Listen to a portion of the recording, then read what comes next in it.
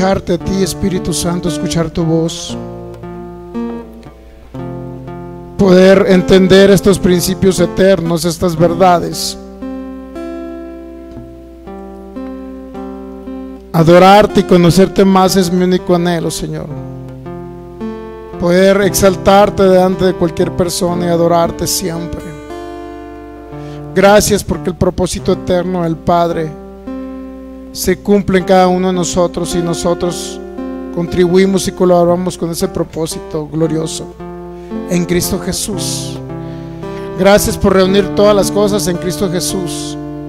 Gracias por esa gracia gloriosa y maravillosa que nos ha revelado y que nos ha dado esa iluminación del conocimiento para entender todo lo que ya proveíste en la cruz.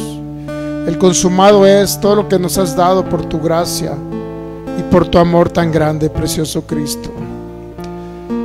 Gracias por esa gloriosa justicia en Cristo Jesús, porque nos declaraste justos, aunque no lo merecíamos. Nos declaraste perfectos, santos y apartados para ti, aunque no lo merecíamos.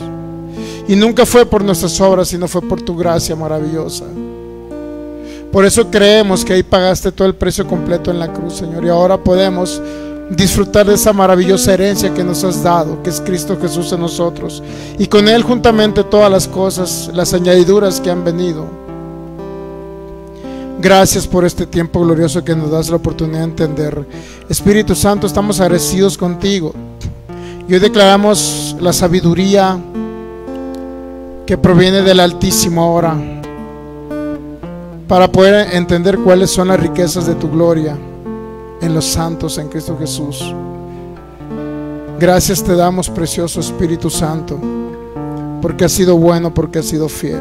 Gracias, Cristo maravilloso, por expresarte a través de cada uno de nosotros, Señor, en esta tierra. Y ahora venimos a que pueda ser renovado el entendimiento, que tú seas formado cada día más, Señor. Gracias porque nos das esta oportunidad de escucharte, Espíritu Santo, y poder compartir esta verdad que es en Cristo Jesús. Gracias por esa posición de honor que nos has dado juntamente contigo en lugares celestiales. Porque en ti estamos completos, precioso Rey. Porque nada nos hace falta. Gracias, agradecidos contigo. Agradecidos con tu bondad y con esta verdad. Gracias, precioso Rey. Todo el honor y toda la gloria sean para ti, Señor, en esta noche, en el nombre de Cristo Jesús. Amén. Muy bien, pues continuamos como una parte, otro subtema del tema que estamos viendo acerca de la riqueza financiera del reino. Este tema se llama el propósito de la riqueza. Sobre todo la riqueza financiera es el que vamos a ¿Cuál es el propósito de ser enriquecidos? Y estamos hablando literalmente de bienes y riquezas. Más ahora que el Señor nos ha mostrado este proyecto, esta oportunidad financiera que estamos compartiendo a través de Facebook con diferentes eh, lugares, con diferentes hermanos en, las redes sociales. Es maravilloso cuando podemos entender que Cristo Jesús nunca nos deja solos, nunca nos va a dejar desprovistos de toda provisión que es un añadidor obviamente al entendimiento de esa maravillosa gracia, lo que se pagó en la cruz, es una añadidura de Cristo en nosotros, la esperanza de gloria. Por eso damos la más cordial bienvenida a cada persona que nos ve en, este tiempo de los diferentes países, ciudades, poblaciones de Sudamérica, Centroamérica, de los Estados Unidos, Norteamérica, del continente europeo, de España y también de los hermanos o familiares o amigos que nos ven también de la, nuestra República Mexicana, también de cada población, ciudad o estado. También sean todos bienvenidos. Les recuerdo que acá tiene una familia en Cristo Jesús. Muy bien, si tuviese la oportunidad de compartir esta enseñanza, puede hacerlo. La verdad será edificación para todas las personas que necesitan conocer esa área que es muy importante, la financiera. Como podemos ver en Lucas capítulo 4, versículo 18, por favor, vamos para allá, Michelle. Próximamente subiremos estas enseñanzas a YouTube. También estará a lo mejor con el tema el propósito de la riqueza, el propósito de la riqueza del reino. Entonces, vamos a Lucas capítulo 4, versículo 18. Pues sean todos bienvenidos, cada persona que se va conectando. Si tuviese la oportunidad de compartir, hágalo. También nuestra página de YouTube estaremos subiendo que es Fe y Guadalajara, nuestra página de YouTube, es acerca de eh, donde estamos subiendo en listas de reproducción cada tema que estamos viendo de las enseñanzas de los viernes y los domingos. Muy bien, pues sean todos bienvenidos. Los que estamos acá reunidos también. Lucas capítulo 4, versículo 18, continuamos con este, este tema financiero, aprovechando la promoción que nos ha dado la empresa que el Señor nos dio a conocer Lucas capítulo 4, por favor, versículo 18. Comenzando desde el 17, estamos listos ya. Lucas 4, 17. Importante que usted, amigo, que nos vea a través de su medio, le conste todo lo que vamos y estamos hablando, ¿ok? Dice que a Cristo estando en la sinagoga se le dio el libro del profeta Isaías y habiendo abierto el libro, halló el lugar donde estaba escrito, el Espíritu del Señor está sobre mí, por cuanto me ha ungido para dar buenas nuevas a los pobres, me ha enviado a sanar a los quebrantados de corazón y a pregonar libertad a los cautivos y vista a los ciegos, a poner en libertad a los oprimidos y a predicar el año agradable del Señor. Por obviedad es un texto bíblico que viene y está comprendido en el Antiguo Testamento. Lucas capítulo 4, versículos 17 y 18, ahí lo podemos ver también. Y también podemos entender que Cristo lo único que estaba dándoles a manifestar a los judíos era precisamente todo lo que estaba escrito en el Antiguo Testamento, Antiguo Pacto, respecto a su venida. Él estaba dándose a conocer por primera vez en una sinagoga donde les estaba diciendo,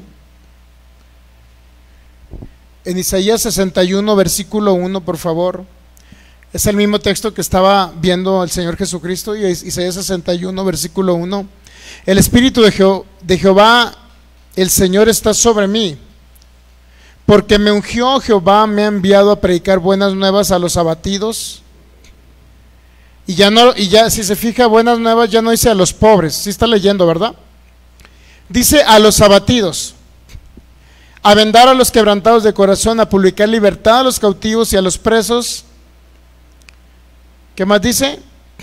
Apertura de cárcel versículo 2, Isaías 61, 2, a proclamar el año de la buena voluntad de Jehová, es decir, el año agradable, y el día de la venganza del Dios nuestro, y a consolar a todos los enlutados. Si se ha dado cuenta, en, Lucas capítulo 4, versículo 18 no menciona la, frase que menciona en el versículo 2 de Isaías 61, que es el día de la venganza del Dios nuestro. ¿Se ha dado cuenta que no viene? Uno. Y segundo, a los pobres le modificó el Señor Jesucristo y le pone es a los abatidos. ¿Qué nos quiere dar a entender todo lo que dijo el Señor Jesucristo? ¿Por qué está mencionando abatidos en lugar ¿Por qué menciona abatidos en, eh, este, pobres en lugar de abatidos? ¿Por qué no menciona el año de la venganza? Al contrario, estamos después de la venida de Él. Es el año agradable, el año del jubileo, el año de la restitución, el año de las deudas canceladas. Eso representa Cristo Jesús en nuestras vidas. Y cuando habla y cambia las palabras de abatido, los cambia el Espíritu del Señor está sobre mí por cuanto me ha ungido para dar buenas nuevas a los pobres. Y es una de las cosas importantes que menciona como en primer lugar. ¿Se ha dado cuenta? Haciendo referencia a lo que dijo el profeta Isaías. Ahí en ese momento, cuando se presenta en la sinagoga, Cristo Jesús estaba dando cumplimiento del tiempo. Por eso dice en Gálatas capítulo 4, cuando se dio el cumplimiento del tiempo. Cristo nacido de mujer y nacido de la ley y nacido bajo la ley, vino a redimir, a comprar, a pagar el precio de los que estaban bajo la ley, a fin de que recibiesen la adopción de hijos. Eso es lo que dice el Gálatas capítulo 4. En otras palabras, sustituye abatido por pobre. ¿Por qué dice ahora Cristo Jesús que vino a dar buenas noticias a un pobre? Y cuando hablamos de pobreza, no estamos hablando de, o estamos hablando de riqueza financiera del reino, o cuál es el propósito de la riqueza. No estamos diciendo que nos enfocamos principalmente y que nuestro objetivo o nuestro propósito es darle a usted a conocer para que sean suplidas sus necesidades en primer lugar, sino estamos diciendo que hay principios eternos y espirituales que sobre todo y lo más importante es que se pueda cumplir y ejecutar el propósito eterno del Padre que es la impartición y el conocimiento de Cristo a su humanidad. Ese es el objetivo principal por lo cual estamos. Por eso, en Mateo 6:33 le dijo todavía a los judíos, eh, porque no había gentiles en Mateo 6:33, cuando habló de cosas que eran necesarias para vivir en el hombre. ¿Qué comeréis? ¿Qué, qué vestiréis? Todo eso venía. O sea, dice, ¿por qué se afanan de lo que van a comer o lo que van a vestir? ¿Por qué se afana? ¿No hace también eso, este, no han visto los lirios del campo, cómo son vestidos? ¿No han visto los pajaritos cómo él les suple comer? Y sin embargo no trabajan, no hilan, no hacen nada, es decir, no hay obras. ¿Estamos captando? No existen las obras para que Dios, este, ahora en Cristo Jesús, entendamos que se nos fue prohibido todo por gracia. ¿Ok? Pero hay un propósito. Mateo 6:33, primeramente es el reino. Primero en la predicación de Jesucristo, del rey del reino que se nos fue impartido y se nos fue depositado en el interior. Esa es la primera, esa es la prioridad que le dijo a los judíos Cristo. Busquen primeramente el reino. Nosotros no buscamos el reino porque el reino fue depositado en nosotros, porque el rey vive en nosotros. Y ahora gobierna a través de sus hijos, a través de su iglesia, de una manera corporativa, es decir, juntos. Ahora es la idea de nuestro Padre Celestial que Cristo reine a través de nosotros. Por eso cuando nosotros reinamos en vida es Él el que está reinando en nosotros o a través de nosotros. Por eso dice en Romanos 5:17 que por la transgresión de uno eh, vino la condenación de todos los hombres, el 5:18, 5:19. Pero también habla también que a causa de uno que es Jesucristo, el postrer Adán, nosotros reinaremos en vida, los que recibimos la abundante gracia y ese don de justicia. Abundante gracia en el, entendimiento de que alguien fue injusto y fue castigado como injusto en lugar y en sustitución de nosotros, que éramos injustos para hacernos justos. Pero a través de esa maravillosa gracia, cuando tenemos que debemos de recibir su gracia, significa que todas las cosas se nos fue prohibidas en el consumado es ahí fue concluido todo. Pero debemos de entender que el propósito de la riqueza que Él nos manifiesta principalmente es en el entendimiento de poder exaltar, predicar, impartir y dar a conocer a Cristo Jesús como el Rey. De esa manera nosotros establecemos el reino aquí, el reino de Dios aquí en la tierra. Y obviamente que es un reino, eh, hablando de reinos, es un reino espiritual porque rescatamos personas literalmente de esa condición eh, de tinieblas en los que están viviendo y que sin embargo van a un lugar de sufrimiento. Cuando hablamos de un propósito, por eso dice Cristo, yo he venido a dar buenas nuevas a los pobres. ¿Cuál es una buena noticia para un pobre? ¿Que siga siendo pobre?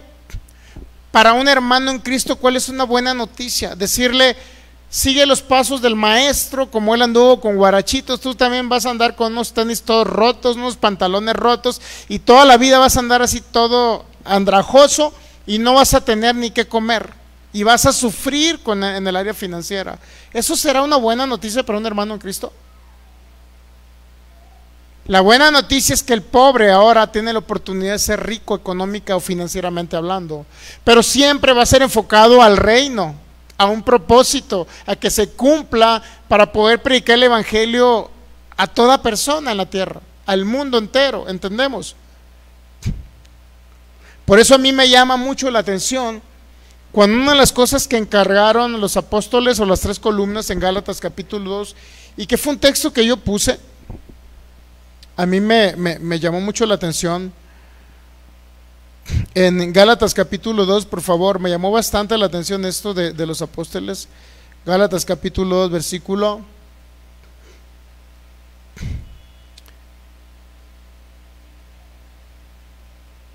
Versículo 9, por favor.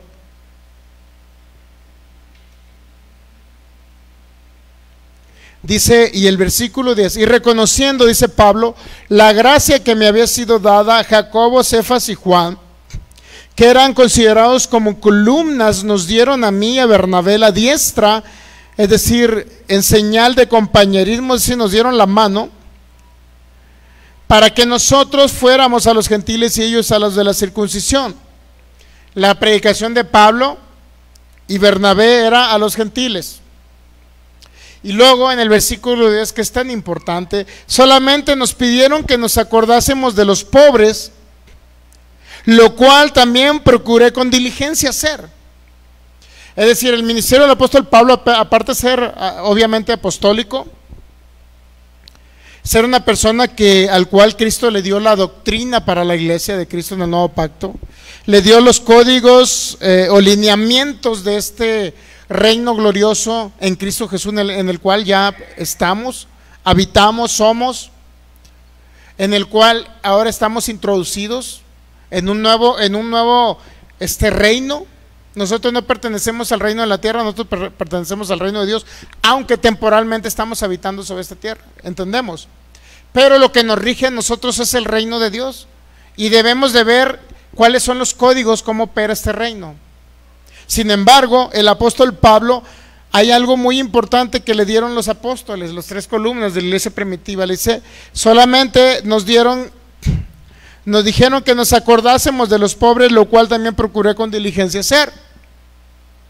Y cuando usted escucha y lee las cartas, la, primera y la segunda carta a los Corintios, usted va a ver cómo Pablo exhortaba a los Corintios a que reunieran la ofrenda, la cual inclusive dijo que los de Macedonia inclusive visionaban desde un año anterior lo que iban ellos a, proporcionar como una ofrenda, como una semilla, y para llevárselo a los pobres y para suplir el ministerio del apóstol Pablo. ¿Cuál era el enfoque entonces de la riqueza del reino en ese tiempo? Era siempre la predicación del Evangelio y también poder sufragar y apoyar a otras personas que estaban en necesidad económica dentro de la iglesia de Jesucristo, inclusive en, Jerusalén. Por eso dice, nos dijeron que nos acordásemos de los pobres, lo cual también procuré con diligencia hacer.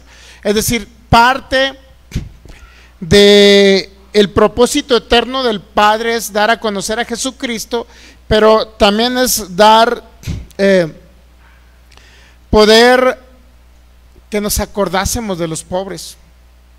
el proyecto financiero que nos da el Señor como una idea creativa, no nada más temporal por 15 días, sí es temporal por 15 días porque es una promoción de la empresa Smart Plus, donde estamos ya como inversionistas.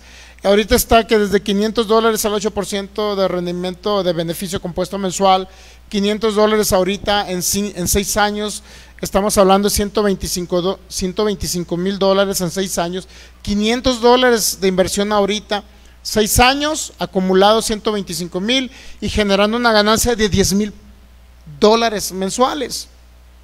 10 mil dólares mensuales, yo sé que nosotros no nos los gastamos en alimento. No nos los gastamos, por más que queramos gastarlo, aunque vaya a un restaurante todos los días, no se lo gasta. Aunque compre ropa, no se la gasta. Bueno, las mujeres, quién sabe, ¿no? Ahí sí, que en zapatos y ese tipo de. No sé. Es decir, pero ¿cuál es el propósito? ¿De suplir lo mío o de suplir lo de los demás? Ese es el detalle. Es un buen testimonio poder nosotros ser enriquecidos para toda buena obra, como dice la segunda Corintios 9, 11, para ser generosos, para que otros den gracias a Dios cuando usted contribuya con ellos, cuando usted apoye sus ministerios, cuando usted, sea de bendición a otros, porque es, es más bendecido, bienaventurado dar que recibir. Es más satisfacción poder eh, este, apoyar a otros que aún nosotros vamos a tener en abundancia, porque ese es el proyecto, esa es la visión, esa es la tabla. Si ahorita 5 mil dólares en, en 6 años le da 125, entonces mil dólares le van a dar 250 mil dólares con una ganancia mensual de, 10, de 20 mil dólares. Yo creo que en esos seis años fácil podemos, con este proyecto, ¿no? Obviamente sin hablar de los otros proyectos que ya tenemos, con este proyecto podemos ser de bendición a otras personas. No nada más que es suplido a nosotros. Por eso hice, y el consejo que le dieron, procura con diligencia, y yo procuré con diligencia hacerlo, dice Pablo. Es decir, el dinero no necesariamente tiene que ser para satisfacernos a nosotros. Primero, la predicación de Jesucristo. Segundo, tenemos que ser solidarios con nuestra familia en Cristo. ¿Entendemos? El proyecto ya está, muchos lo aprovecharon, muchos no lo aprovecharon, yo no juzgo cada persona que no lo aprovechó, obviamente, porque no todos podemos tener esa facilidad de creer la maravillosa bondad de que una, una, empresa dada por el Señor, porque yo creo que este proyecto viene del Señor, donde puedas generar el 8% y ganar el 8% de rendimiento de beneficio compuesto mensual. Ya no hay muchas empresas en el mercado así, y algunas que hay son hasta fraudulentas, mi hermano. Ya no hay empresas así serias y, con esa este, seriedad con la que esta empresa genera las ganancias y no las da. Todo eso es la gracia del Señor. No hemos hecho nada para solamente creer que se nos fue prohibido todo en la cruz y llegan las ideas. Llegan las oportunidades. En esta empresa nunca se ve dado una oportunidad de que todos los paquetes, los planes, los pusieran al 8%. Nunca se ve dado. No sé si de cinco años para atrás, pero el conocimiento que yo tengo de cuatro años para acá, nunca se ve dado. Póngase a pensar si no es gracia, si no es la gracia del Señor manifestándose en cada uno de nosotros. Entonces, ¿cuál es el objetivo principal de la riqueza financiera?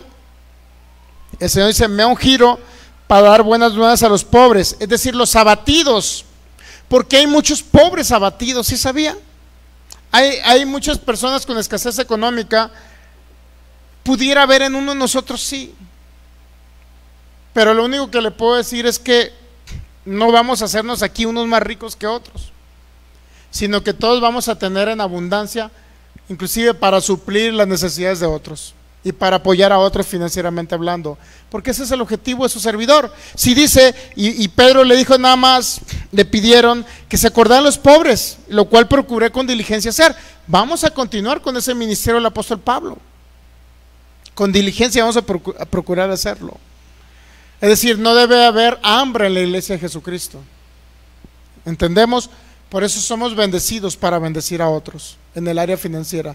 Ya la bendición de Dios está en nosotros, que es Cristo en nosotros. Por consecuencia, las añadiduras, no es que andemos buscando añadiduras, andamos buscando primeramente que el reino, que Jesucristo sea y el conocimiento de Cristo Jesús y su gracia maravillosa, el Evangelio, sea extendido en toda la tierra y que el propósito eterno del Padre se cumpla, que Cristo sea el todo en todos. Ese es mi objetivo principal y es la visión que yo quiero poner en su vida y en su corazón en esta noche. ¿Entendemos? Es inminente que usted, si usted invirtió en esta empresa, es inminente que 5, 6, 7, 8 años va a estar enriquecido, millonario. Por eso no hay ninguna duda.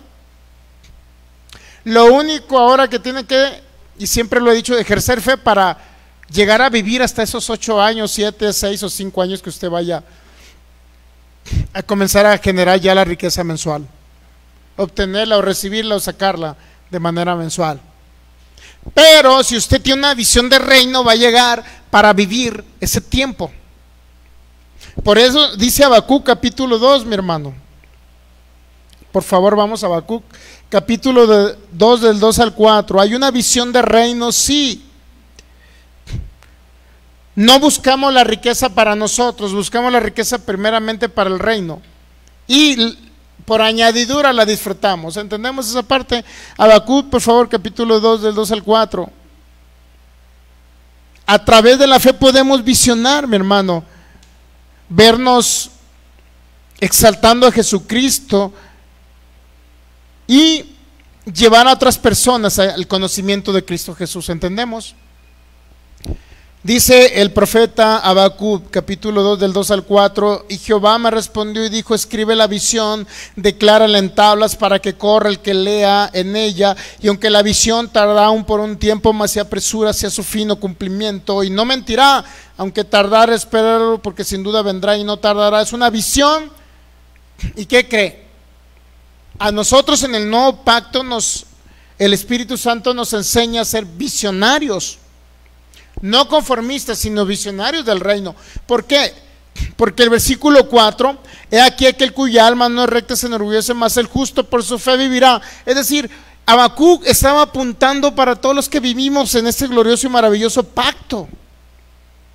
Habacuc estaba apuntando a aquellos que iban a vivir por la fe de Cristo en ellos, aquellos que iban a utilizar la fe de Cristo, aquellos que iban a ser visionarios del reino, aquellos que iban a decir, Señor, yo tengo una visión, escribo esa visión. Si es cierto, hay una tabla que me dice que mil dólares en ocho años voy a tener un millón seiscientos mil dólares y que ahí voy a estar ganando más de cien mil dólares mensuales. Si es cierto, hay una visión, pero también no nada más es la visión de lo que va a recibir, sino la visión del reino, de lo que vamos a hacer con ese dinero. Uno es la predicación de Jesucristo la impartición de Jesucristo, el conocimiento de Jesucristo, la formación de Cristo en las personas convertidas. Esa es una de las visiones. Y lo segundo dice, procura ayudar a los pobres.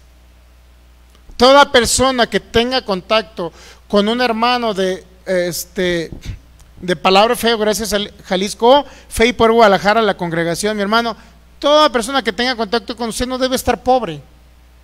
Si usted está rico, ¿qué cree? La bendición que usted ya aporta, que usted ya tiene, también los va a alcanzar a ellos. ¿Entendemos? No es para nosotros nada más, aunque la vamos a disfrutar y vamos a tener de todo. Usted va a poder comprar una casa de contado. No es el objetivo, claro. El objetivo es la predicación de Jesucristo, el, objetivo es pagar programas de televisión, el objetivo es hacer el domo de la fe para hacer un lugar de evangelismo, este, por lo menos, si no es en Jalisco, hasta nacional. El objetivo es poder también compartir con otros ministros de la palabra, impulsarlos, rentarles un local, eh, ponerles un salario a otros hermanos que están predicando el Evangelio de Cristo, el del Evangelio de la Gracia, a otros ministros, a otros pastores. Ese es el objetivo, el reino. Pero ¿qué cree? Va a poder comprarse una casa, va a tener una de las mejores casas, va a poder a lo mejor ir, eh, llegar un día a la agencia a comprarse un carro de contado. Todo eso vamos a tener.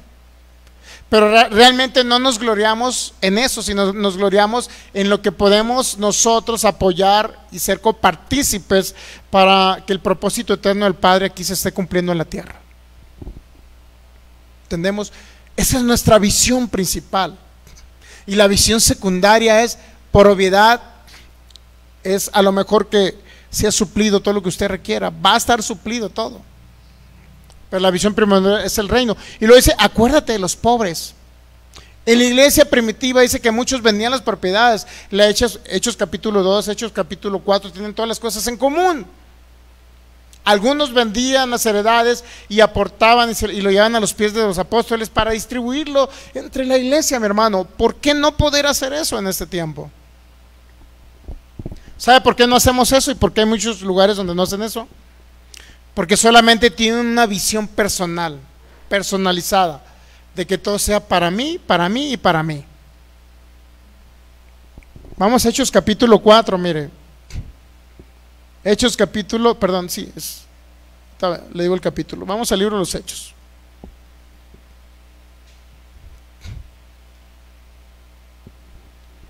Y aquí vamos a encontrar esta expresión muy maravillosa. Hay muchos que se van al extremo, muchos que se van al extremo en el capítulo 2, por favor, muchos que se van a un extremo y creen que la riqueza no es para los hijos. Dios, se va en un extremo, ¿no? Cuando la riqueza solamente es una herramienta para nosotros poder contribuir al propósito de tener el Padre y por añadido a disfrutarla, ¿me entiende? Es una herramienta, yo lo veo como una herramienta. Y si vamos a vivir 120 años sobre la tierra, que no son muchos, y si usted va a vivir 110 o 100 años, el que decía vivir 100 años, o 95, muchos dicen a los 95 ya me voy, no sé, pero que ese tiempo realmente pueda tener suplido usted todo lo que le hace falta, pero también abunde o sobreabunde, como dijo el apóstol Pablo en segunda carta a los Corintios 9, abunde esa gracia en usted, pero también para contribuir con otros, apoyar a otros, levantar la obra de Cristo, que no haya pobres. Mire, veamos a la iglesia primitiva, por favor.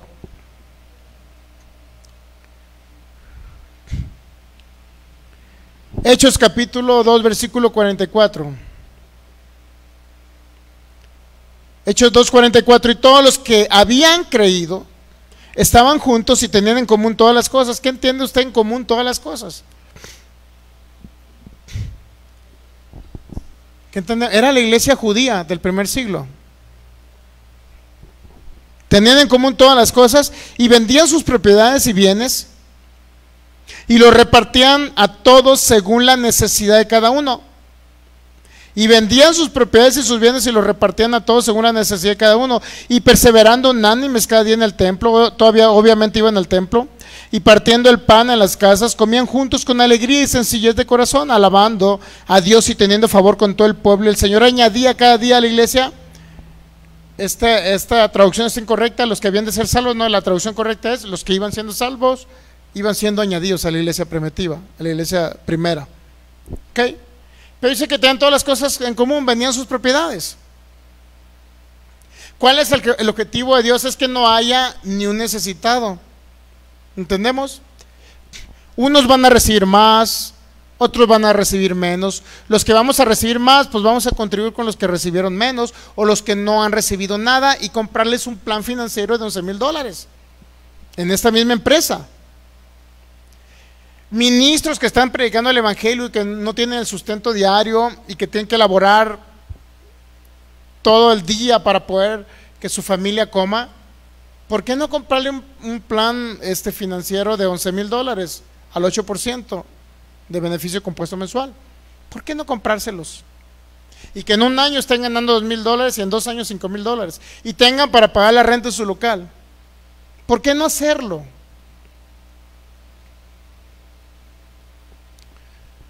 Y de esa manera, ¿qué cree? Habrá y se cumplirá todo lo que estaba ocurriendo en la iglesia primitiva. Y no estamos hablando, fíjese, no estamos hablando de personas que a lo mejor van a llegar a buscarlos a ustedes solamente por conveniencia, porque también van a existir, ¿no? Pero el Espíritu Santo le va a dar testimonio. ¿Qué hermano está predicando el Evangelio que conoce ahorita? ¿Cuántos ministros están predicando el Evangelio y están laborando en lo natural? No se preparan, no se dedican, no tienen para retar un local como congregación. ¿Cuántos de ellos hay? Hay muchos. Hay muchos. Pero nosotros podemos ser esas personas que seamos ese, eh, como dijo el apóstol, acuérdate de los pobres, acuérdate de los necesitados, acuérdate no nada más ministros, sino hermanos en Cristo, que no tienen esa idea creativa porque no han creído. Porque muchos ven el mensaje en las redes sociales y se les hace imposible tanta bondad de Dios. Bueno, yo los entiendo, no los juzgo, no los critico. Yo estaba así, yo era un incrédulo. De repente estás acostumbrado a un sistema financiero eh, de, de un país donde no te dan nada por tus inversiones. Y de repente hay una empresa y te lo quiere dar ¿Qué es lo que sucede? La empresa te dice, yo no soy una institución financiera, yo no soy una institución financiera, al contrario, una institución financiera, tú le das tu dinero, es decir, 10 mil dólares le das ahorita a esa institución financiera, sí, son muy buenos para guardártelos, te los guardan, pero no se quedan con el dinero dentro de la institución, ¿sabía? El dinero se va a trabajar en Forex ellos le sacan provecho al dinero que usted va y se los deposita. Es decir, te están diciendo, cuando tú vas a un banco y le das tu dinero, te están diciendo, qué buen socio eres, te están diciendo. Porque me das tu dinero y yo lo trabajo allá. Y como tú dices, lo voy a guardar en el banco un año a ver cuántos intereses me da. Y al rato terminas con dos pesos en tu banco. después de 10 mil dólares, porque ni siquiera llegas a mil pesos. Entonces terminas y te dice, oh, qué buen cliente eres. ¿Sabes qué? Con esos 10 mil dólares yo pude ganar otros 100 mil dólares. Te regreso tus 100 pesos que te ganaste en el año y te dicen, muchas gracias por haberme ayudado a hacerme rico. Y esta empresa te dice, no, tú me das tu dinero, yo lo trabajo donde lo trabaja la misma institución financiera. La diferencia es que yo te comparto más, porque lo que quiero es formar personas que sean de bendición a otros. La empresa te lo dice. Si tú eres una persona que puedes llegar a ser empresario y generar em, empleos para otros, estás levantando económicamente a un país, al país donde tú vives. ¿Sí sabía? Esa es la, eh, parte de la, del, ¿cómo se llama? Eh, de la visión de la empresa, pues, de, de la misión de la empresa. Levantar empresarios en cada país, en cada ciudad. Entonces la empresa comparte contigo por eso. Sin embargo, la institución financiera, le podemos decir tradicional, no te da nada. Y hay personas que prefieren tener su dinero ahí en esa institución, digo, no estoy mencionando nombres, ¿no? En esa institución financiera regulada, eh, ¿cómo lo podemos decir? Em, tradicional, que te lo vas a encontrar en cualquier, en cualquier país. Ellos te, dan la gracia porque tú lo guardas con ellos, pero ellos no lo tienen ahí, lo, lo están trabajando. Y hay personas que prefieren tener esa seguridad de tener su dinero en ese banco, así se llaman acá en México, no sé, en otros lugares, prefieren tener su dinero ahí, guardadito, muy segurito, pero no producen nada y se devalúa con el tiempo. ¿Sabía que el dinero se devalúa? ¿Usted cree que mil dólares ahorita son los mil dólares en la época de Benjamin Franklin? Mil dólares es una persona millonaria en aquella época. Mil dólares es un dineral, creo que hasta una casa te puedes comprar con mil dólares. ¿Se ha devaluado el dinero? Sí. Y usted lo tiene, y la gente acostumbrada a guardarlo en una institución. ¿Qué produce? Bueno, continuamos con el tema. Solamente son pequeñas cápsulas ahí que menciono acerca de la empresa. Entonces, todos los que habían creído, Hechos 2.44, todos los que habían creído estaban juntos y tenían en común todas las cosas. Ese es el objetivo del Espíritu Santo. Ese es el objetivo. Que podamos contribuir al propósito eterno del Padre, pero también que no haya pobres en la iglesia de Jesucristo. ¿No le, dolería a usted que, usted esté millonario en unos 5 o 8 años? Y que un hermano en Cristo vaya llegando a la congregación y que vaya usted viendo lo que, que hasta no tiene ni qué comer. O que conozca un hermano de otro país, de otra ciudad de México, donde usted lo vea que no tiene qué comer. ¿No sería maravilloso tener toda esa capacidad financiera para decirle, ahí te va, te compro un plan y aquí en adelante vas a vivir de eso? ¿No es maravilloso eso? Tenían todas las cosas en común y vendían sus propiedades y sus bienes y lo repartían todos según la necesidad de cada uno. Hay muchos hermanos en Cristo, mi hermano, de muchos lugares que, que no están sufriendo. Están sufriendo.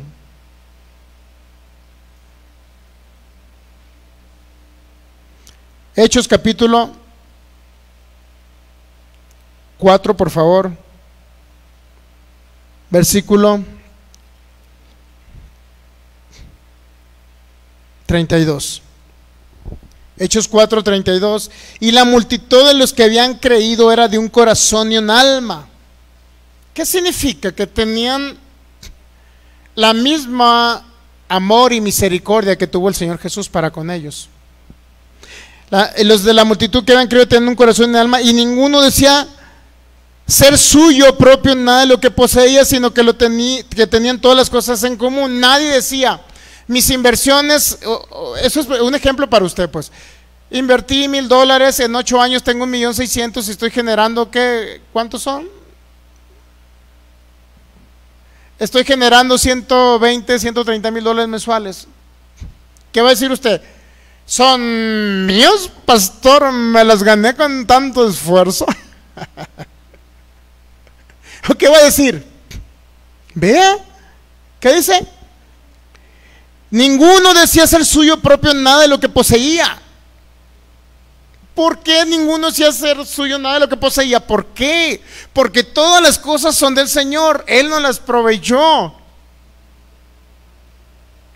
Él nos las dio por su gracia y nos las está manifestando, pero vienen y provienen de Él. Nosotros somos administradores de lo que por gracia se nos da y se nos manifiesta. Somos administradores nosotros en la tierra. Administramos su dinero. Pero ahí viene obviamente la aclaración. ¿Qué deseamos administrar? ¿Pobreza o dinero? Nosotros decidimos. Podemos ser los mejores predicadores para contribuir al propósito eterno del Padre, pero seguir siendo pobres toda la vida. O podemos ser los mejores predicadores, los que compartamos el Evangelio, los que contribuyamos con el Evangelio, los que paguemos medios de comunicación, televisión, radio, los que promovamos a otros ministros por toda la tierra. Ricos. Nosotros decidimos. O ser pobres y contribuir al propósito eterno, o ser ricos para contribuir al propósito eterno. Yo decido lo segundo. Inciso A o inciso B.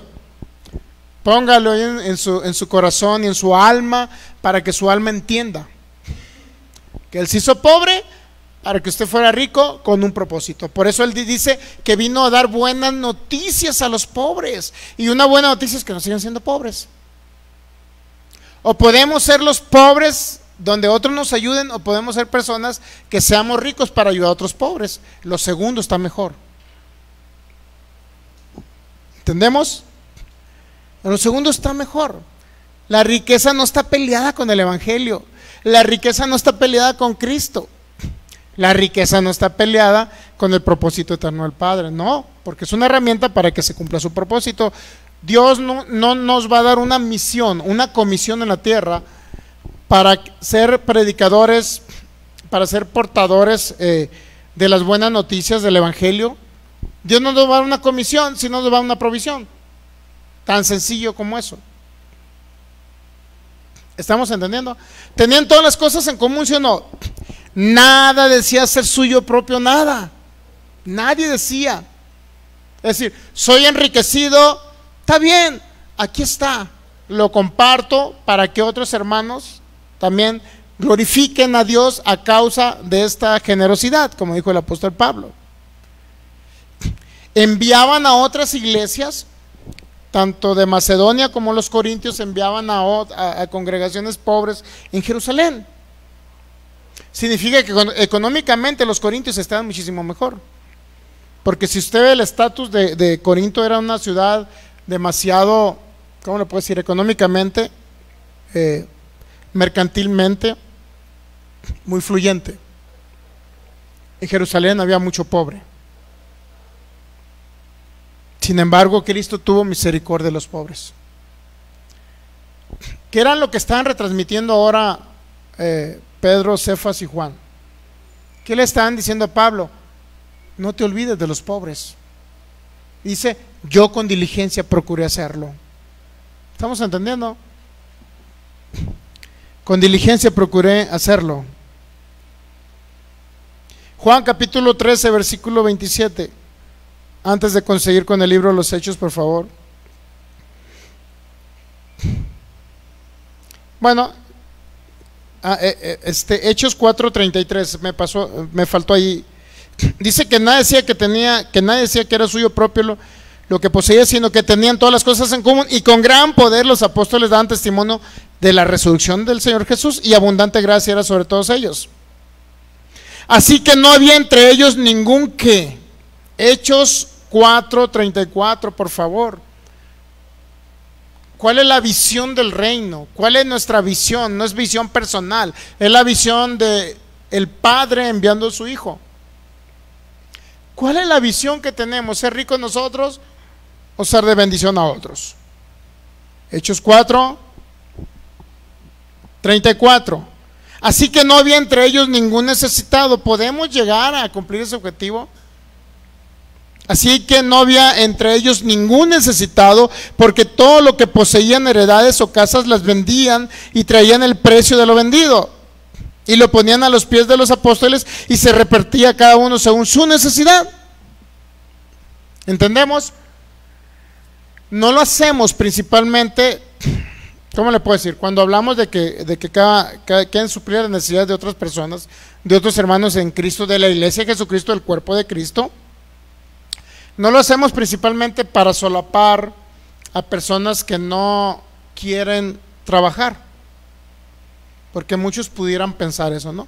Sino aquellos que han trabajado toda su vida y no han salido del mismo estatus financiero y que hay un corazón ferviente en ellos de servir al Señor, pero el tiempo no les alcanza, eh, no tienen posibilidades, a lo mejor por la educación que les dieron de tener buenos salarios, pero que tienen un corazón dispuesto. Estamos hablando de esos, ¿no? No estamos hablando de aquellos que dicen, no, pasa, pues ya no quiero trabajar, quiero llevarme en mi casa viendo eh, el Reino del Sur todos los días. ¿Habrá chance de que me compre un plan y llevarme de ocioso en mi casa comiendo pizzas y Coca-Cola, pastor? ¿Habrá chance de que me compre un plan? ¿Soy todo un ociosote? No estamos hablando de ellos. ¿Ok? ¿Se puede prestar el caso? Sí, pero no estamos hablando de ellos. Estamos hablando de gente que realmente quiere servir a Dios. Qué rápido se va el tiempo, Dios mío. Yo creo que vamos a tener que alargarlo otro viernes. Hechos capítulo 4, 35. Y lo ponían a los pies de los apóstoles y se repartía cada uno según su necesidad.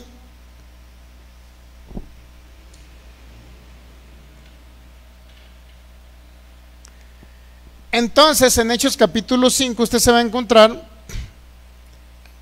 Dice entonces José, a quien los apóstoles pusieron por sobrenombre Bernabé, que traducido es hijo de consolación levita natural de Chipre, como tenía una heredad, la vendió y trajo el precio y lo puso a los pies de los apóstoles. Pero usted ya va a Hechos capítulo 5 y empieza un gran problema en la iglesia primitiva. ¿Recuerda la historia de Ananías y Zafira? Muchos han malinterpretado diciendo que fue el Espíritu Santo quien los mató pero están totalmente errados.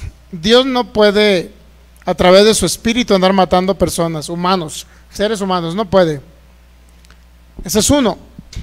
Segundo, cuando leemos en Lucas capítulo 9, iban a llegar a una aldea de samaritanos y su discípulo dijeron, Señor, manda fuego para que los destruyas. El Señor le dijo, ustedes no saben de qué espíritu son. Entonces no pudo haber sido el Espíritu Santo, ¿no? Pero, sin embargo, cuando usted lee la historia de Ananías y Zafira, se da cuenta que ellos cayeron muertos, si bien es cierto, a los pies de los apóstoles, pero en ningún momento fue el Espíritu Santo, solamente dice que cayeron muertos. Porque la medida, habían rellenado algo que se llama la medida. Pero nunca fue Dios matándolos. Literalmente es permitiendo que el enemigo pudiera destruirlos. Estamos hablando de aquel que vino a matar, hurtar y destruir, Satanás el diablo. De eso estamos hablando, ¿ok? Uno, no entendían todavía gracia. Y si pudieron morir fue por la condenación que tenían. ¿Por qué? Porque en ese momento todavía no, había, no existía el Evangelio de la Gracia. El del nuevo pacto no existía. ¿Qué hizo Ananías y Zafira? Vendió la propiedad y creo que la mitad nada más reportó algo así, ¿no? El problema no era reportar la mitad, el problema era mentir. Porque pudieron haber dicho, vendí la heredad en 5 mil dólares, un ejemplo, ¿no? En aquella época no, obviamente no eran 5 mil talentos. Y solamente les traigo 2.500, pero yo me voy a quedar con los otros 2.500. ¿Había un problema en eso? No. El problema es decir, lo vendí en 5 mil y ¿qué crees Pedro, Jacobo y Juan? Nada más la vendí en 2.500, ¿eh? Ese es el problema, pues pero nunca es el Espíritu Santo. Y eso que trajo condenación a ellos. Trajo condenación y permitieron darle lugar a Satanás. El temor trae una consecuencia. estuvieron, se sintieron condenados y en ese momento aprovechó la oportunidad Satanás, el diablo, los destruyó. Pero muchos dicen, a ver, eso sucedió en el nuevo pacto era la transición al nuevo pacto. Aunque ya Cristo había muerto en la cruz, es cierto, ya eran hijos de Dios, es cierto, pero no conocían el nuevo pacto. ¿Estamos, estamos entendiendo? El nuevo pacto no lo conocían porque no, no había sido revelado al apóstol Pablo. Todavía en Hechos capítulo 5. Solamente es una aclaración, ¿no? Es una aclaración eso, que no fue el Espíritu Santo quien los destruyó. Juan capítulo 13, versículo 27. ¿Cuál era la actitud del Señor Jesús? Juan 5, 37. Vean el corazón de Cristo Jesús que también retransmitió a quién. 13, 27, ¿ya? Juan capítulo 13, versículo 27.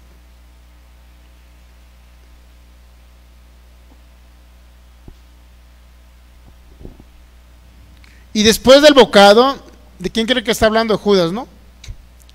Satanás entró en él. ¿En quién? En Judas, ¿ya? Fue en la historia donde estamos hablando que en la cena del Señor, ¿ok? Entonces Jesús le dijo, lo que vas a hacer, perdón, y dice, a ver, estamos hablando del 13:27, ¿no? Y después del bocado, Satanás entró en él, entonces Jesús le dijo, lo que vas a hacer, hazlo pronto. Pero ninguno de los que estaban en la mesa entendió por qué le dijo esto, es decir, Cristo, Jesús a Judas.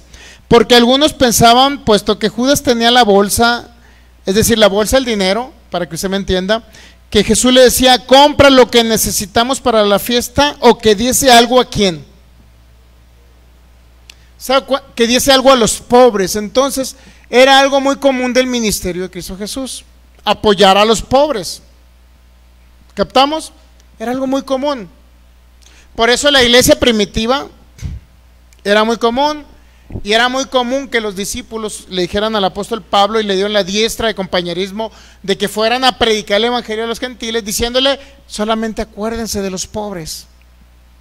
¿Pobres qué? ¿A qué, a pobres se refería? ¿A qué que pobres se refería? A los gentiles. Es decir, a todos los que están distribuidos por todas las naciones que son, ahora están convertidos al Señor. Acuérdense de los pobres.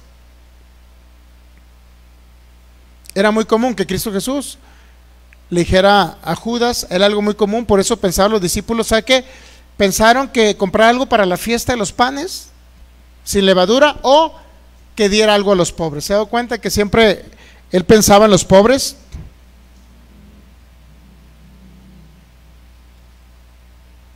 Y así podemos ver muchos hechos donde los cuatro mil, los cinco mil personas que estaban reunidos en un lugar, primero Cristo Jesús, vayan y compren algo para que ellos coman. Regularmente se produció un milagro, ¿sí? Sí es cierto, usted puede ver ese hecho también en Marcos capítulo 6, versículos 6.36 y 6.37 de Marcos. Dice, despidiéndolos, despidiendo, despídelos para que vayan a los campos y aldeas de alrededor, le dijeron sus discípulos, y compren pan, pues no tienen que comer. Respondiendo Jesús les dijo, dales vosotros de comer. O sea, siempre algo muy normal en el ministerio del Señor Jesucristo. Ellos le dijeron que vayamos y compremos pan por 200 denarios y les demos de comer. Es decir, manejaba 200 denarios como mínimo, que son aproximadamente 11 mil dólares ahorita, Cristo Jesús. Es lo que manejaba en su ministerio.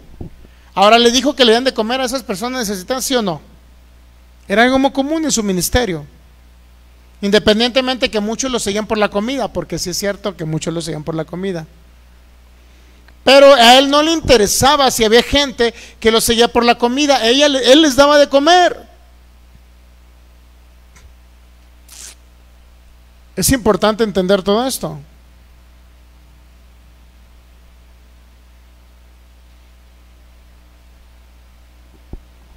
Lucas capítulo 14, versículo 12.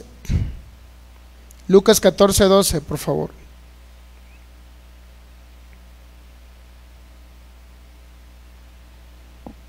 Y es obviamente que, hablando de una parábola de Cristo Jesús, dijo también al que le había convidado, ya, Lucas 14, versículo 12, ¿ya lo tiene? Dijo también al que le había convidado, cuando hagas comida o cena, no llames a tus amigos, ni a tus hermanos, ni a tus parientes, ni a tus vecinos ricos, no sea que ellos a su vez te vuelvan a convidar y seas recompensado. Mas cuando hagas banquete, llama a quién? A los pobres, a los mancos, a los cojos y a los ciegos. Es decir, a los necesitados. Era una recomendación de Cristo Jesús. Y le dice, y serás bienaventurado porque ellos no te pueden recompensar, pero te será recompensado en la resurrección de los justos, que obviamente se efectuó cuando Cristo resucitó. Ahí ellos recibieron toda recompensa. Sin embargo, no podemos olvidarnos de esas personas, de nuestros hermanos en Cristo. No podemos olvidarnos de ellos. Entonces, ¿cuál es el propósito de la riqueza del reino? Es que primeramente contribuimos al propósito eterno del Padre. Esa es la visión que usted debe establecer de Abacú capítulo 2 del 2 al 4. Escribe una visión. ¿Cómo se ve? ¿Como un empresario del reino o como una persona bien gordo y panzón porque se lleva comiendo todo el día de vacaciones por Europa? ¿Cómo se ve? Ahora puede decir, pastor, me veo gordo y pasó porque como lo mejor, pero también estoy contribuyendo con el propósito y el reino para la excesión del reino. Qué feo, qué, malo y que, que alguien esté millonario y que te diga el médico, no puedes comer estos alimentos que más te gustan en toda tu vida, ya no te los puedes comer. Y usted millonario, Dios mío. ¿No, no, es, ¿No es feo eso? Que el médico lo ponga a dieta por cinco años y que usted tenga tantos millones para comprarse todas las pizzas del mundo, toda la nieve del mundo, todas las hamburguesas del mundo, de pura comida chatarra, ¿no? que puede ir a los mejores restaurantes de mariscos y que de repente el, médico le diga, no, tienes que comer puras frutas, verduras y de vez en cuando una carnita. ¿Por qué no darle gracias a Dios mejor que Él suple todo lo que nos hace falta conforme a sus riquezas en gloria y que vamos a tener esa abundancia pero también vamos a tener salud para disfrutar lo que Él nos da, pero siempre y cuando tengamos una visión del reino, para que el propósito de Él se cumpla aquí en la tierra. Qué maravilloso es.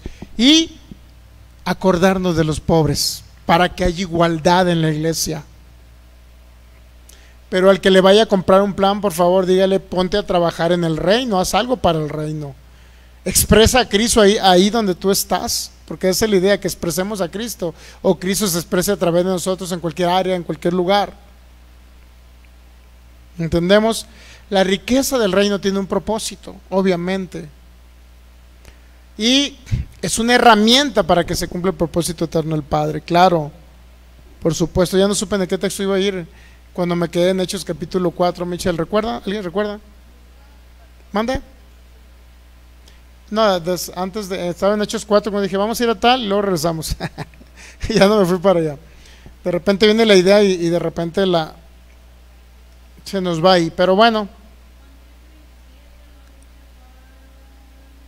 Muy bien, entonces la idea principal es decirle a ustedes que están acá reunidos y a nuestros amigos que nos ven a través de medios de comunicación, el proyecto financiero está hasta el día lunes como una promoción el 8% de beneficio compuesto mensual para todos los planes desde 500 dólares. Y como le digo, 500 dólares usted lo llevan a 6 años tener 125 mil dólares y ganando 10 mil dólares mensuales.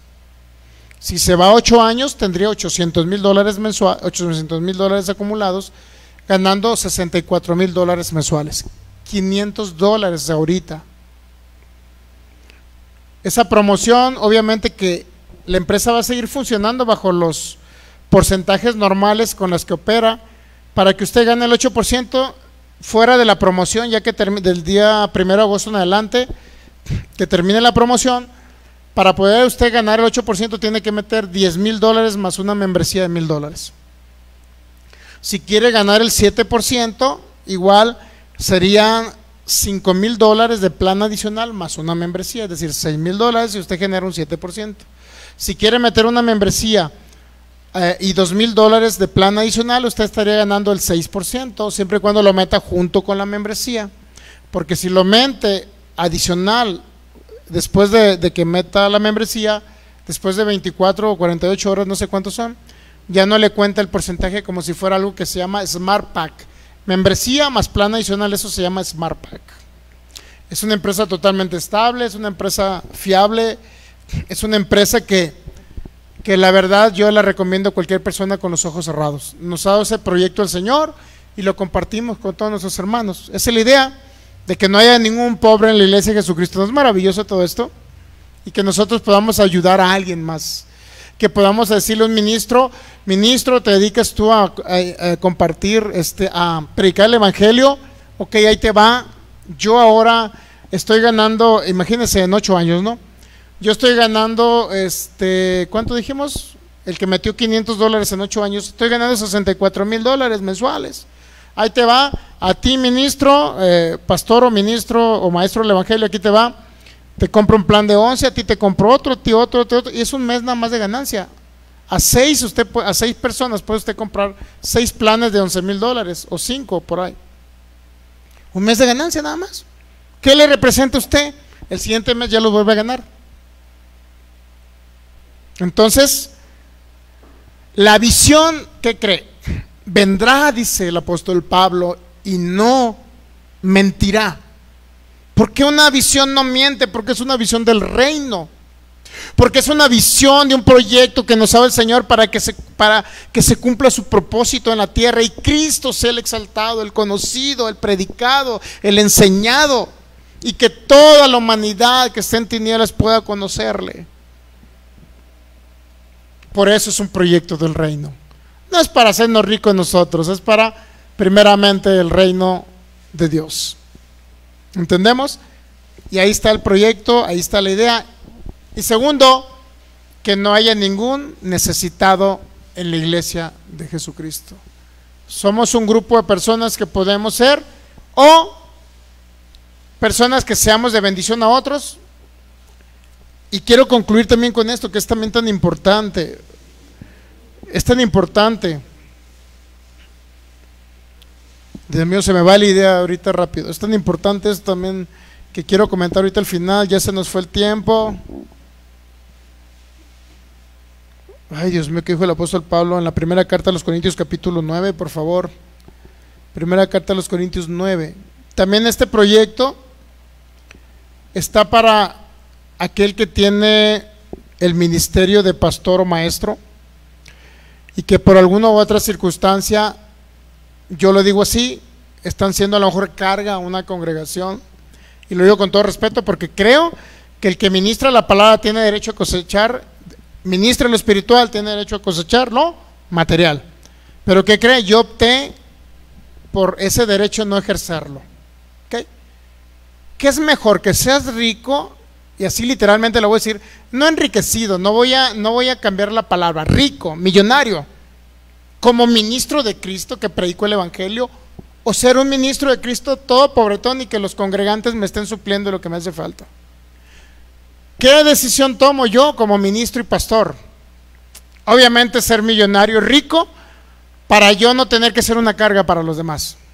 Y fíjese, primera carta a los Corintios capítulo 9,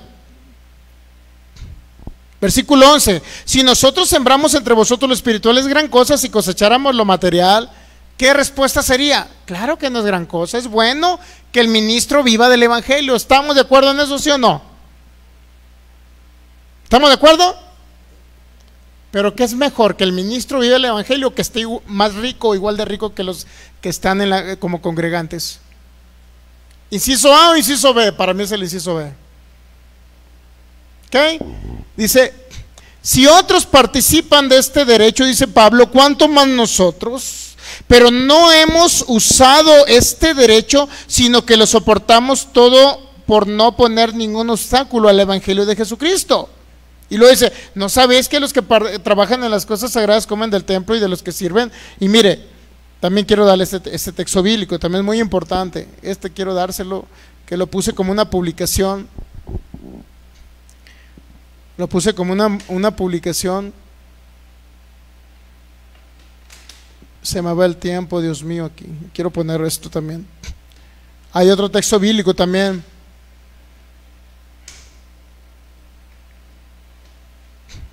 Hay otro texto bíblico aquí, mire. Es, ahorita leemos la primera carta de los Corintios capítulo 9, ¿verdad? Versículo 12. Y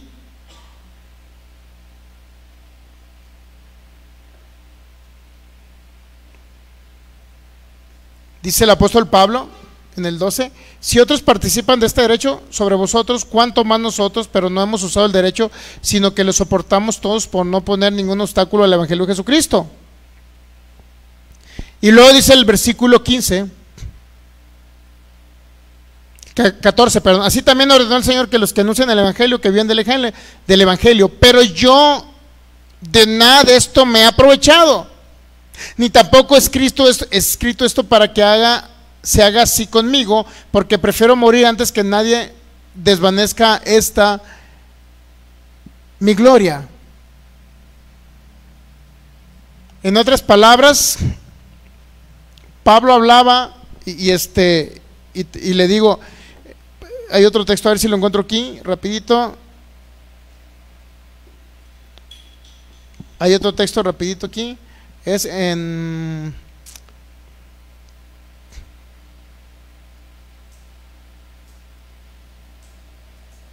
Ay, Dios mío, se me fue. En otras palabras, donde Pablo dice que él prefiere trabajar en lo natural para no ser una carga y un obstáculo al Evangelio de Jesucristo. Si alguien me lo puede encontrar rapidito, lo puse como una publicación aquí, ahorita ya se me, se me fue donde está. Bueno, en otras palabras, yo, todo lo que yo le quiero decir es esto. Que es mejor que un ministro pastor sea una carga, y así dijo Pablo, para no ser una carga, para no ser un obstáculo de que piensen que yo enseño a Cristo por ganancia. ¿Qué mejor sería? Enseñar a Cristo para que otros piensen, ah, mira, el pastor dice, eh, siembren, ofrenden, contribuyan para la obra, y el pastor, este, literalmente vive de eso también. ¿Qué sería mejor? Eso o que digan, y yo les diga, si ustedes quieren contribuir con, con, el, con el Evangelio para construir el domo de la fe y todo lo demás, si gustan hacerlo, pueden hacer, si no, yo lo pago. ¿No sería más maravilloso eso? Yo también ser rico para ser de bendición para la obra de Cristo y que yo te, y que el Señor supla igual que un congregante, el Señor me supla a mí todo lo que me hace falta conforme a sus riquezas en gloria. ¿No sería maravilloso eso? Que los pastores también sean ricos que también tengan empresas y que no les haga falta nada y en lugar de que ellos sean una carga para los demás o un obstáculo para muchos, porque muchos para muchos, cuando un pastor recibe un salario para muchos es obstáculo, pues dicen, mira, el pastor nada más eh, quiere, se quiere, quiere mi dinero para, para comprarse un carro, para comer, lo que usted quiera. ¿No sería más maravilloso no poner una traba al Evangelio? Es que el apóstol Pablo habló de eso, por eso y se lo soportamos todo, por eso trabajamos. Entonces yo le, yo le voy a decir, yo no trabajo para hacer en, uno, en un tiempecito más, yo voy a hacer, soy un inversionista, pero pronto voy a empezar a cosecharlo de mis inversiones y en lugar de ser una carga, para, porque nunca lo he sido una carga, nunca he agarrado un solo peso, porque yo dije, si un congregante es rico, enriquecido y empresario, ¿cuál diferencia hay entre un congregante y un pastor? Ninguna. O sea, el Señor me, eh, puede manifestar la riqueza financiera que ya me proveyó en la cruz, lo mismo que un congregante. Y hasta ahí la dejo ya porque se me fue el tiempo. ¿Ya? Muy bien. Agradecidos con cada persona que estuvo conectado con nosotros. El proyecto financiero está. Cada persona decida. Padre, te damos gracias en esta gloriosa y maravillosa noche en Cristo Jesús. Estamos agradecidos por tu bondad, por tu verdad, por tu misericordia. Agradecidos por este proyecto que nos has dado, Señor. Gracias por tu fidelidad. Gracias por tu amor. Gracias por cada proyecto, Señor Así como dijo el apóstol Pablo, creemos por toda esta riqueza financiera, Señor, por todos estos planes, estos proyectos que nos has dado, pero sobre todo para contribuir con tu propósito eterno, uno, y segundo, Señor, yo me comprometo a no olvidarme de los pobres. Así como dijo el apóstol Pablo, sino que yo fui diligente también en realizar eso, Señor. estamos agradecidos por tu bondad, por, bondad, por tu verdad y por todo lo que ya nos diste en la cruz del Calvario, Señor. Agradecidos por tu fidelidad, agradecidos por tu amor. Gracias, gracias contigo, Espíritu Santo. Gracias, precioso Cristo. Gracias, Señor, por todas las cosas que nos has dado y pertenecen a la vida y la piedad. Gracias por darnos la oportunidad de ser bendición, de bendición a otros, Señor. Gracias porque nuestro anhelo es que todos no haya ningún necesitado, Señor sino que todos tengamos las cosas en común. Estamos agradecidos por eso, Espíritu Santo, en el nombre de Cristo Jesús. Amén. Muy bien, pues nos despedimos a cada persona que estuvo conectada a través de estos medios. Agradecido con cada uno de ustedes. Bendecimos sus vidas. declaramos la bendición del Señor ya manifiesta en este tiempo en cada uno de ustedes. Y les recordamos, acá tienen una familia en Cristo. Cada persona que estuvo conectada, este, a lo mejor no veo muchos comentarios aquí. Eh, algunos comentarios puse en algunos grupos, pero bueno, acá tienen una familia en Cristo Jesús. Y nos vemos hasta el próximo domingo a las 12 del mediodía. Cristo les ama, a nosotros también. Bendecidos en Cristo.